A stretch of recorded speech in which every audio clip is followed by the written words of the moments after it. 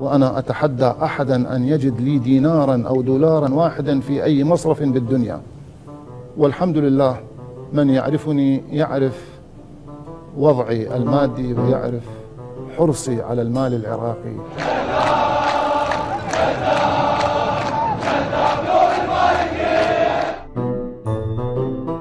ليس لي أي رصيد وكما قلت قد لا يصدق ذلك لكن أقولها لكم أنا شخصيا يعني على المستوى الشخصي أيضا آه، مدين بمقدار من المال و آه، أصرف إلا بمقدار حاجتي ولست لا موظفا في دائرة حكومية ولا في مكان ما ولا أمتلك أي مشروع اقتصادي في هذا البلد بالرغم من كل ما آه، يشاع ويقال هنا أو هناك.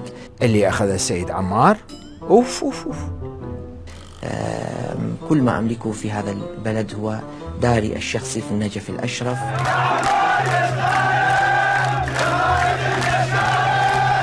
أنا المسؤول الوحيد في الدولة العراقية اللي يعطي إيجار بيت للحكومة العراقية. اللي الرتن مالتي بتكون من ثلاث سيارات وحدة يعني خربانة اللي هي الدولة مطيتنا إياها تحافي مهتلف والآن صرت مليونير أو ملياردير وتقول أنا أبا عن جد عندي فلوس. مالك فلوس؟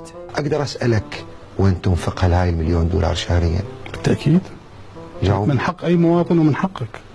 أه تصرف أولا. تصرف ثانيا. تصرف ثالثا.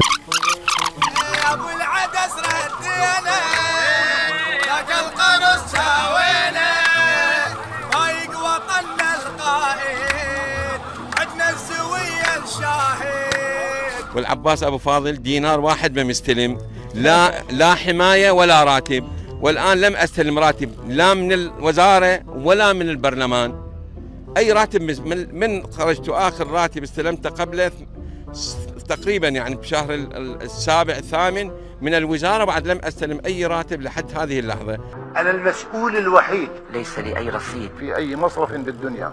بلا راتب وراكضين وراي شيء يريدون من عندي.